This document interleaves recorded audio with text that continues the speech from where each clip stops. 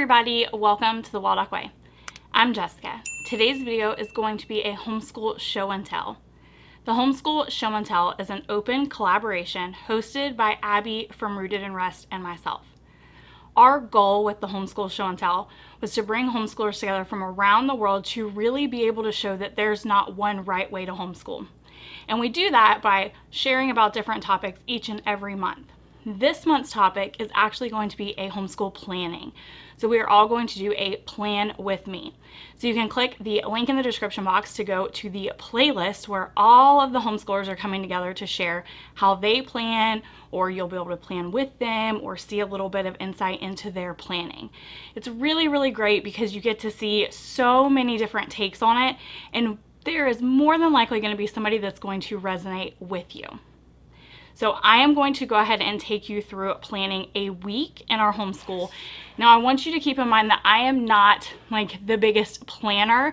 I am very interest-led, child-led. We try to kind of fly by the seat of our pants. But with that being said, I have a like routine that I tend to do every Sunday night. So that is what I'm going to do is take you through that routine with me. So the first thing that I do is I pull out some of my favorite things for planning. The first of which is my planner. This year I am using the Flamingo planner. I love the colors and just the fun of it. And then it's inside my planner, but for ease of this video, I also have my free checklist by grade. So these are the skills by grade level checklist. I use these to kind of figure out what concepts I want to teach that week. And then I just have some of my favorite pens and highlighters. The pens that are my favorite are the Frixion Fine Liner. I really like that they have like the Papermate type of tip. However, they're erasable. And then my favorite highlighters are the Mildliners by Zebra. I like that they are not quite as bright um, and like in your face as most highlighters. They're a little bit more mild, hence the name mild liner. So once I have those things out, I just go ahead and open my planner to the week that I like to use. So this is the weekly lesson plan that I like to use. It's very simple. It's exactly what I need it to be. It has the days of the week at the top, and then it has four checklist boxes. Now, I use these boxes for math, language arts, our unit study, and then anything else. So either extras or maybe um, to-dos. It just depends on kind of what that week is going to hold for us. So I'm gonna go ahead and grab a pen. I know that this is week three for us this week. I know on Thursday night we have gymnastics. Wednesday this week, my mom is actually having knee surgery, so I will be gone for a few days helping her out with that. And off the top of my head, that's all I can think of. So I'm just gonna leave that as it is for now. You're gonna have to excuse my handwriting. This is not the easiest way to write, but I'm just trying to kind of give you an example. So we have math, language arts,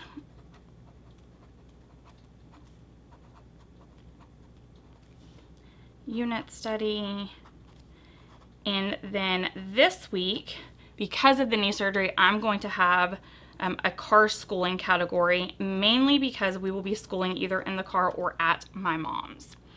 So once I have kind of my general layout and I know what the week is going to hold, the next thing I do is I reference our skills checklist to see what skills I want to focus on that week. I don't, you can't really see that. Here you go. Let me scoot that over. So I reference this page, which is the skills checklist, and I just see what skills do I want to work on with her this week. Is it, you know, maybe it's mastering math facts or just kind of whatever it is. So I just go through and look at them. So I know that this week I want to work with her on fractions and I will explain why I'm picking fractions in a minute. So for ease of use, I am going to just highlight identify and compare fractions 1 half to 1 12th, add and subtract fractions with like denominators, and identify number mixed number fractions and impropers. So those are the three math concepts I'm going to work with her on this week. And then I think for language arts, we are going to continue working with run-on and incomplete sentences, using capital letters, using punctuation marks correctly, And then I think we are going to also work on recognizing and identifying common parts of speech. So I think that's going to be kind of the gist of things I'm going to work on with her this week for math and language arts at least. So now that I know that those are the concepts that I want to work on with her, I will then go to our homeschool room and my office and pull things that I think will work well under those topics. So either we have curriculum that I want to use, or we have games, or we have books, or some sort of hands on resource. But I will just kind of go through and pick things that I think will work well with those concepts, and then we'll just kind of use them throughout the week. Now, a unit study is very simple because I'm using our space unit study currently. So I know that this week I want to do the solar system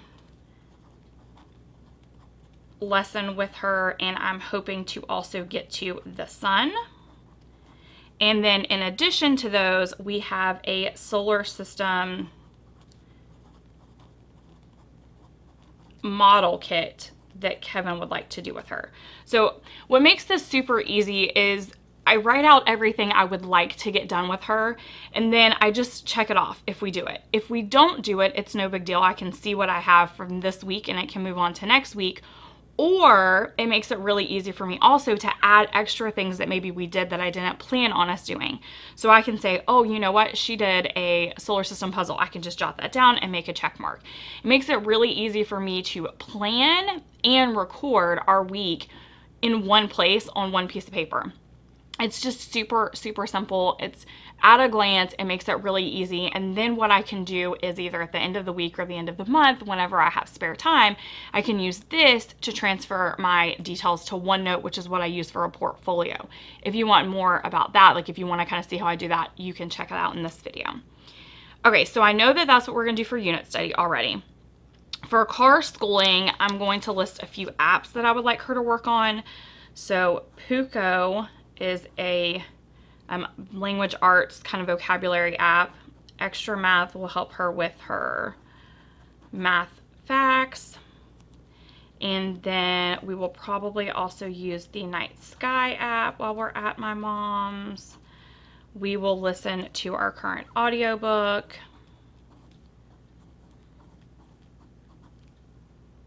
And that's all I can think of right now. I'm sure I'll come up with more things as we get closer to it and as I'm actually packing for my mom's. But everything is still kind of up in the air. I don't know whether she's staying home with Kevin or going with me just yet. So I'm trying to kind of right now just list things that she could do with Kevin or I depending on where she ends up. So this is I'm trying my best to show you guys what I would plan but this week is like no other week because we're not normally trying to split the household midweek because of a surgery. All right, so now what I'm going to do is I'm going to go ahead and walk and look for resources that I think would work well for the topics that I had talked about for like the run-on sentences and the capital letters and punctuation marks. And then what I do after I have all those resources is I will write those down for math and language arts in my planner. Like I said, it makes it really easy because I found when you have a lot of resources, sometimes you forget that you have them. So by me saying, okay, these are the skills that I want to work on this week, and then going down and looking at my shelves, then I can just jot down, okay, this is what I want to do for math. This is what I would like to do for language arts. If we do it, fantastic, I check it off. If we don't do it, it's not the end of the world, but at least I have written down what would have worked for those topics.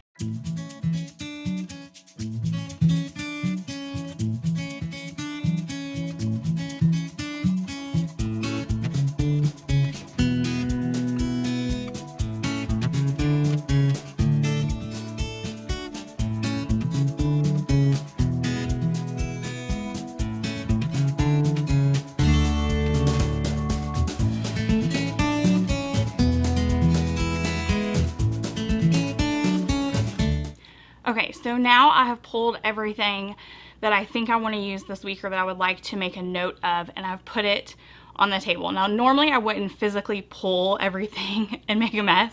I would just go jot down what we have on hand. But for the purposes of this video, I pulled everything so I could physically show you what I pulled. So for language arts, keeping in mind that the skills I wanted to cover are the run-on and incomplete sentences, capital letters, punctuation marks, and common parts of speech.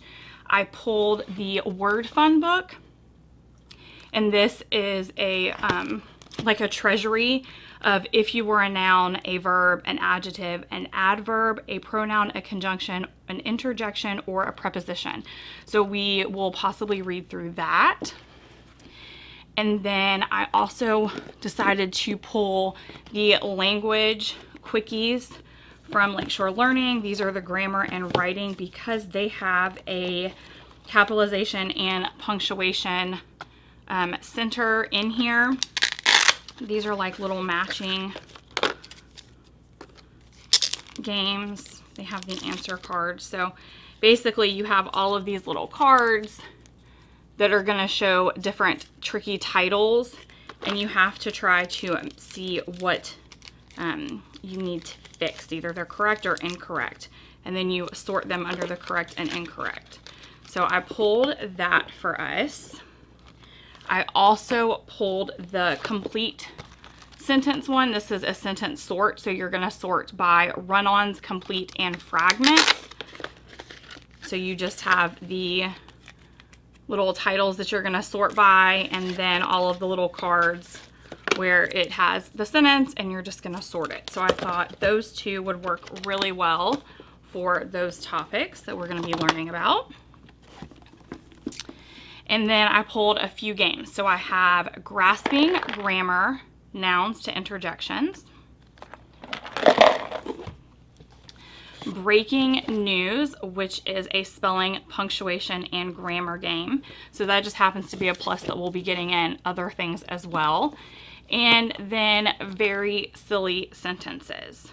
This will be a really fun one, but it'll be a great way to talk about whether the sentence is complete, run-on, etc. So that's what I pulled for our language arts. For math, I pulled two books, The Sir Cumference and The Fraction Faire.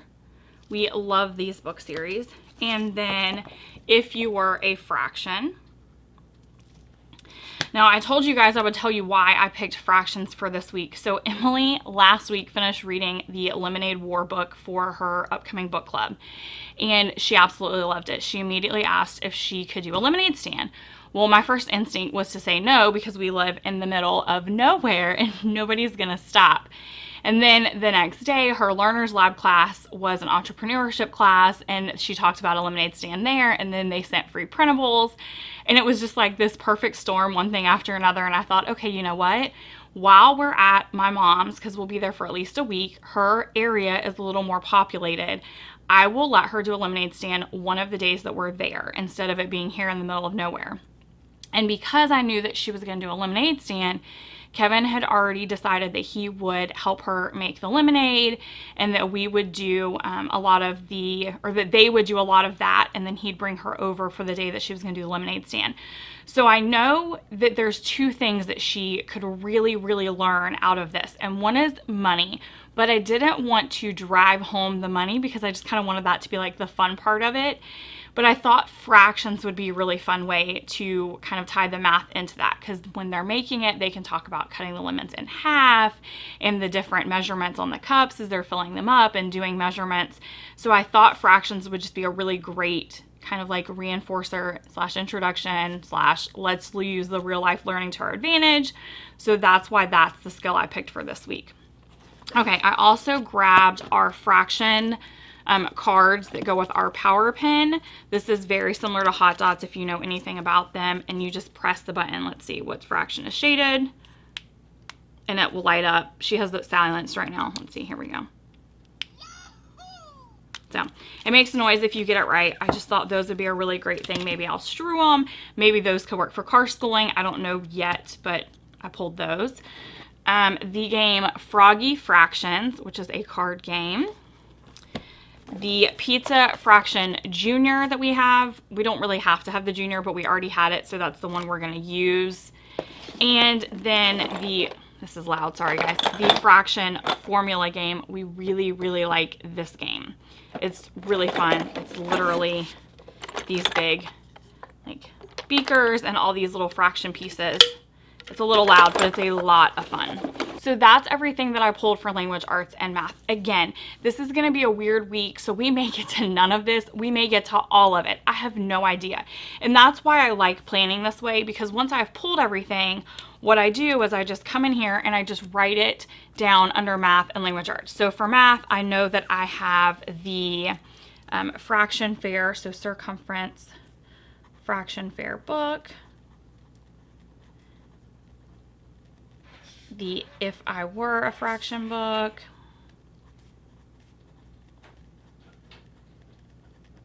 And then I have the Power Pen fractions, the pizza fraction game, the froggy fraction game, and then the fraction formula.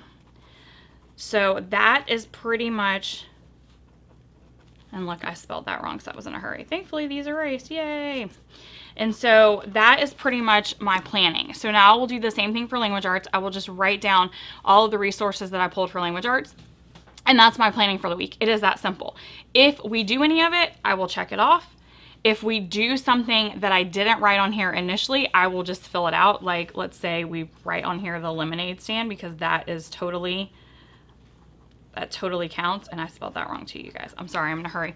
But it's literally that simple. That's how easy my planning is. It's not overkill. It's not complicated. I just make a list of things that I think we might do that I would like to get done with her so I don't forget when we're in the moment.